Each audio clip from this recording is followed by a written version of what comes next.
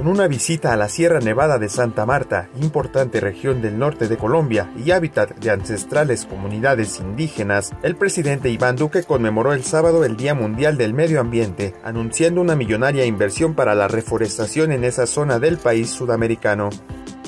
Este aporte en el que está involucrado el Ministerio del Medio Ambiente está dentro de los objetivos del gobierno colombiano de completar la siembra de 180 millones de árboles al terminar el actual mandato estamos aquí presentes porque estamos mostrándole al mundo que con una inversión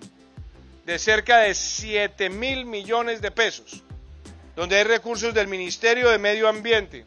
y recursos de cooperación internacional, vamos a recuperar cerca de mil hectáreas, sembrando estos bosques tropicales de acuerdo con Duque, este proyecto tendrá una duración de 18 meses y se desarrollará a partir de los componentes de conocimiento ancestral, restauración ecológica, intercambio de capacidades e instrumentos económicos. La Sierra Nevada de Santa Marta es uno de los espacios naturales más emblemáticos de Colombia por su ubicación geográfica como complejo montañoso y la alta diversidad de ecosistemas y paisajes que brinda. Con información de la oficina en Bogotá, Colombia, Noticias Xinhua.